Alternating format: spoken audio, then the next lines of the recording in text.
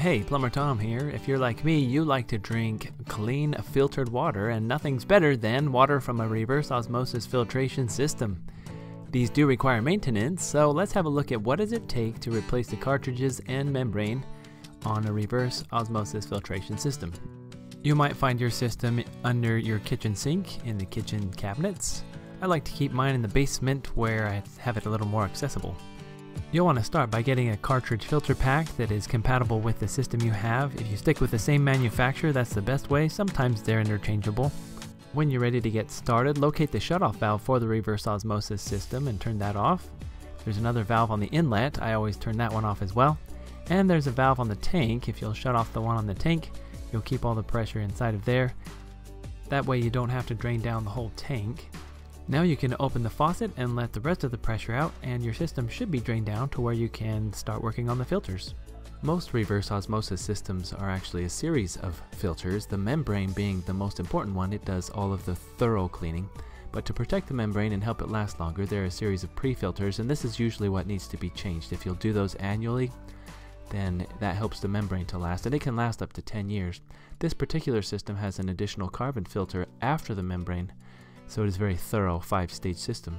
The filters are housed in compartments or canisters, and so we remove those to access the filters. Generally I'll use a pipe wrench if it's a little snug, but most of the time these can be done by hand. You will want to make sure to have a bucket to catch the water and the filters as they come out of the canisters.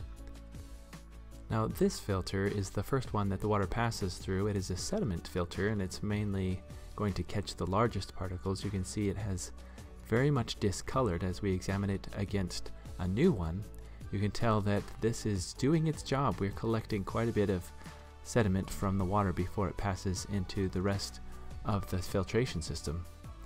To install these, we simply reinsert the filter into these canisters and thread them on by hand. There's an O-ring at the top that seals them.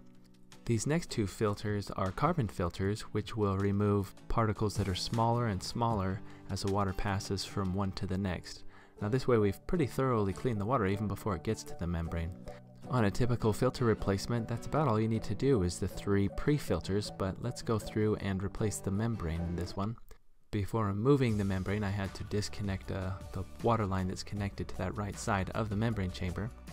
Once I have the membrane in place, I'm also going to replace the post-membrane carbon filter, that's the one on top. So this particular unit has a five-stage filtration process. The three pre-filters, and those are the ones again that you want to do more often. And then that goes through the membrane and then into this carbon filter. Now this one just kind of threads on and you can see I'm replacing it. It does have to go in a certain direction of flow through this filter. So I want to make sure to put that in properly.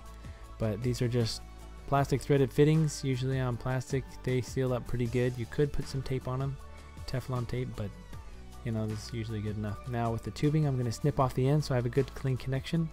With push-on fittings, you want to make sure to watch those because they tend to leak. And then I like to write the date that I did the service right on the unit. From here, we'll turn things back on. I've got the uh, tank opened up again. I'm just checking for leaks. That tank had some pressure, so that's going to pressurize all the filters. I'm going to open up the valves that feed the reverse osmosis unit. And once again, keep an eye on everything for leaks, especially if this is in a kitchen cabinet.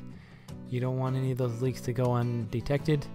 It could do a lot of damage, so make sure to look it over real good.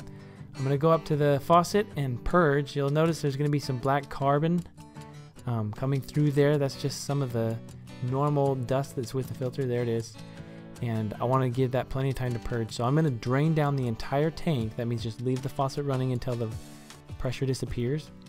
And I'll do that two or three times. By then, it should be ready for use. Thanks for watching. Make sure to like and subscribe.